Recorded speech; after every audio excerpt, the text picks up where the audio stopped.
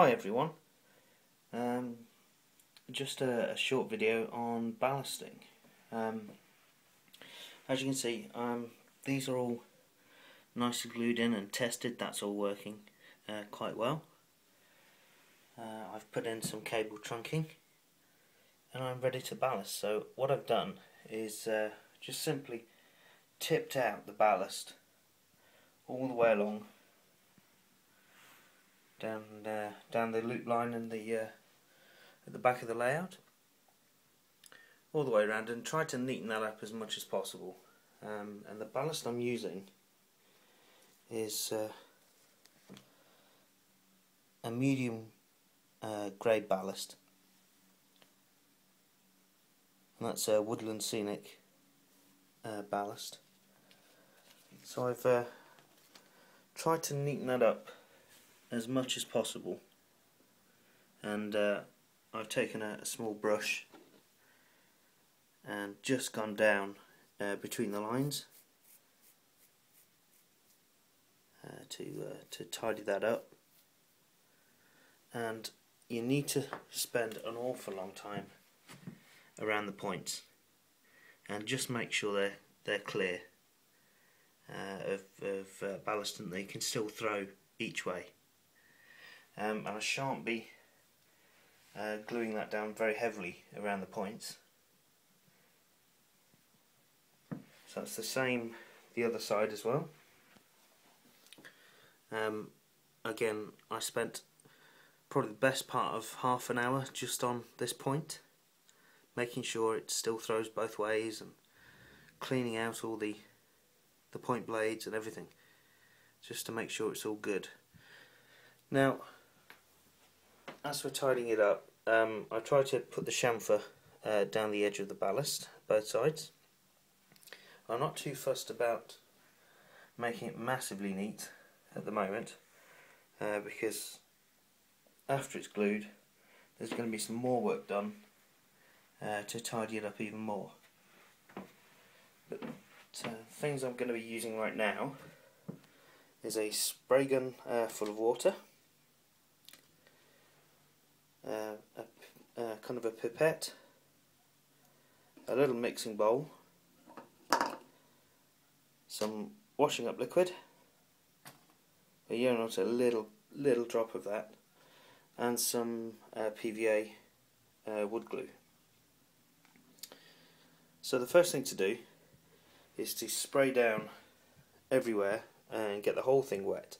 So electricity off at this point and I'm going to spray the entire section.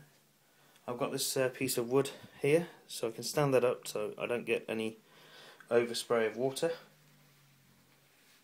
and we'll wet down the whole lot and that makes the PVA and water mix that we're going to be using uh, soak through uh, a lot better and uh, make sure everything is, uh, is glued down nicely. Uh, don't worry too much about the coloured cable there because one of the things we're going to be doing later is tidying that up with a, a little bit of grey paint. Uh, but there's no point doing it now because it'll wash off. And I'm not too fussed about how the ballast looks down here because first of all it's at the back of the layout and secondly there's going to be a whole lot of bushes and fencing and all sorts of things down there so that's not going to look too bad when it's done. So when I come back uh, we'll have got the whole thing damp and uh, ready to go. Right, right, that's the water done. Um, so it looks like it's swimming with uh, water right now, um, and that's a good thing. Uh, you do really need to get it very, very wet, and that's to help the uh, the and water and uh, washing up liquid mix flow and uh, and seep down right to the bottom. Um, so it really does look completely damp and uh, sogging wet uh, but that's what you're looking for. So I've mixed up a batch. Uh, here it is. I've got my little pipette, and that really just is uh, maybe 20% of uh, PVA uh, to 80% water, and then just a little spot of uh, of washing up liquid, and that's just to break down the surface tension. Um, so if I take this over here, now you are going to really saturate the whole area um, and this will take you a very long time but it's well worth doing uh, because you get a far better result. So I'm just going to go and make my way around the entire layout uh, doing this and uh, when I come back we'll have it completely ballasted. See you later. Okay, uh, we're done. Um, you will use more ballast than you thought you were going to need, uh, that's uh, for sure. Be extremely careful uh, around the points. Um, what I've done is I've not used that much liquid around here, uh, simply because I don't want to jam these point blades up at all. Um, so if some of that stays loose, that's absolutely fine uh, as far as I'm concerned. Um, but it's done. Um, it does look quite rough uh, right now, but you know you will move uh, some uh, ballast around when you use the spray gun, and you will uh, move some ballast around when you use the uh, dropper.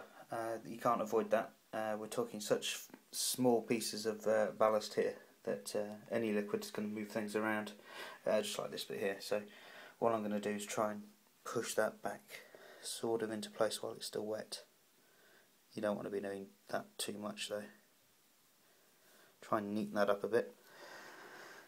Um, don't worry about the little white flecks of uh, PVA that you can see dotted around all over the place. Uh, they'll dry clear. And that's it. Um, it's your last chance now to do any touching up or any extra bits and pieces you want to do. Uh, for instance, in the in the centre here, I've used some grey scatter and some green scatter just to start adding some background uh, in between the lines. Uh, just going down, so we finish up with a big blob uh, down there, and that's so I can start then uh, to blend that in because the the board is wet with a mix of PVA and, and water. It's ideal uh, medium to to for that stuff to adhere to. so that's why that's gone in right now. Uh, but that's it. That now takes about, uh, well, I'd say between sort of 12 and 24 hours to dry depending on the, the weather. This overspray that you can see that's gone around here is actually really useful. Um, not all grass is the same colour, so this needed to be uh, worked on anyway. Uh, but that's given us uh, some nice fluctuations there and across the back there as well. So that needs more work doing to it, but it's nice that uh, we started to, to change the colour slightly uh, down there.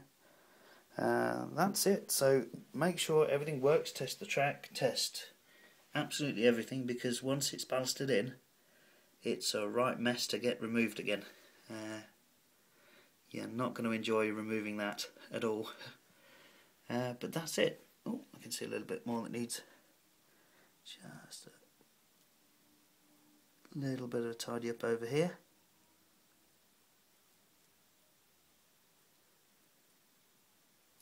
uh, you can essentially spend